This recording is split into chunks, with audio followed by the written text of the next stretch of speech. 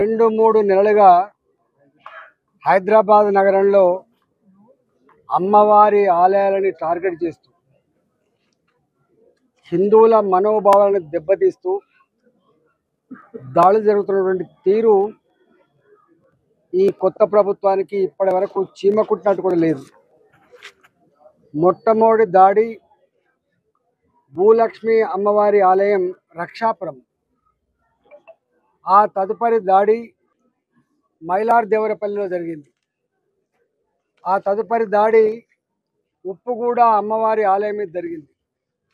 నాలుగవ దాడి ఎగ్జిబిషన్ గ్రౌండ్లో జరిగింది.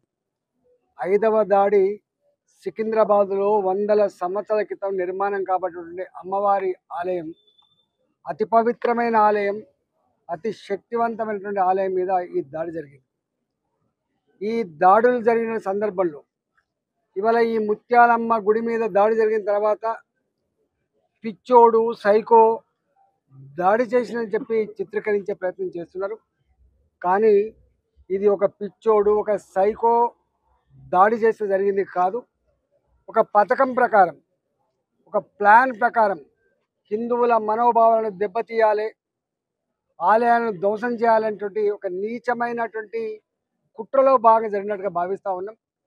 కొన్ని వందల మంది యువకులకి హైదరాబాద్ అడ్డాగా ఇవాళ వాళ్ళకు వేరే ట్రైనింగ్ల పేరిట ఇలా ఆలయాల మీద దాడులు చేయండి హిందువుల మీద ద్వేషం పెంచేటువంటి దుర్మార్గమైనటువంటి ఆలోచన విధానాన్ని ఇన్కల్కేట్ చేస్తూ ఉన్నారు. వాళ్ళందరూ కూడా పొల్యూట్ చేస్తూ ఉన్నారు. ఇవాళ దీని పరిణామాలు రాబోయే కాలంలో చాలా తీవ్రంగా ఉండేటువంటి ఆస్కారం ఉంది. ఇలా హైదరాబాద్ నగరం అనేక సంవత్సరాలుగా మత లేకుండా అందరూ కలిసిమెలిసి ప్రశాంతంగా జీవించేటటువంటి నగరంగా అభివృద్ధి చెందుతున్న నగరంగా ఇది ముందుకు పోతుంటే ఇవాళ ఇలాంటి ఉన్మాదపు రెచ్చగొట్టే వాళ్ళ మెదలను స్పాయిల్ చేసి ఇలాంటి దాడులకు పురిగొట్టుతూ ఉన్నారు. మేము ప్రభుత్వాన్ని హెచ్చరిస్తూ ఉన్నాం.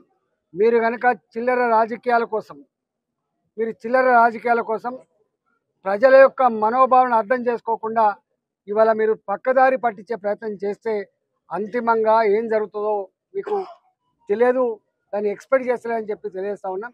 దేశవ్యాప్తంగా కూడా. ఈ మధ్య కాలంలో వక్ఫ్ చట్టంలో మార్పులు తేవాలని చెప్పి ప్రయత్నం జరుగుతున్న సందర్భంలో ఇవాళ కావాలని ఇంటర్నేషనల్గా ప్రతి ఇంటికి పోయి మనం మన మసీదులు గుంజుకుంటారట మన మన ఇల్లు గుంజుకుంటారట మనకు ఉపాధి లేకుండా చేస్తారని చెప్పి రెచ్చగొట్టే ప్రయత్నం చేస్తుంది మంచిది కాదు. విషాన్ని నింపడం తేలిక. కానీ దాని పరిణామాలు చాలా చేదుగా ఉండేటువంటి ఆస్కారం ఉంది. దాంట్లో అనేక ఇన్నోసెంట్ ప్రజలు కూడా విక్టిమ్ అయ్యేటువంటి ఆస్కారం ఉంది కాబట్టి ఇవాళ తప్పకుండా దీని మీద ఆలోచన చేయాలని చెప్పి మేము కోరుతా ఉన్నాం. ఈ పద్ధతి మంచిది కాదని చెప్పి హెచ్చరిస్తా ఉన్నాం. రాష్ట్ర ప్రభుత్వం కనుక అప్పీజ్మెంట్ పాలసీలు ఇవాళ వాళ్ళకి ఏదో మెప్పు పొందే ప్రయత్నం కనుక చేస్తే తీవ్రమైన పరిణామాలు ఉంటాయని చెప్పి హెచ్చరిస్తా ఉన్నాం. దీని మీద ఇవాళ రాష్ట్ర ప్రభుత్వం స్పందించకపోతే పట్టించుకోకపోతే సరైన సమాచారం ఇవ్వకపోతే కేంద్ర ప్రభుత్వం ఉన్నటువంటి ఏజెన్సీలు ఇన్వాల్వ్ అయ్యేటువంటి ఆస్కారం ఉంది. నిగ్గు తేల్చే ఆస్కారం ఉంది. దీని వెనుక ఎవరున్నారు? ఎందువల్ల జరుగుతూ ఉన్నాయో తప్పకుండా ఉక్కుపాదం పెట్టే ప్రయత్నం చేస్తామని చెప్పి మనం చేస్తా ఉన్నాం. ఈ దేశంలో ప్రశాంతతను కాపాడాల్సిన బాధ్యత. అందరి విశ్వాసాలను కాపాడే బాధ్యత ప్రభుత్వం మీద ఉంటుంది కాబట్టి ఇవాళ డెఫినెట్గా ఇవాళ ఇక్కడి ఈ ముత్యాలమ్మ గుడి పరిసరాల్లో ఉన్నటువంటి ప్రజల మనోభావాన్ని అర్థం చేసుకున్నటువంటి భారతీయ జనతా పార్టీ కార్యకర్తలుగా ఈ ప్రాంత ఎంపీగా తప్పకుండా వాళ్ళకు అండగా ఉంటామని చెప్పి ఈ తెలియజేస్తాను.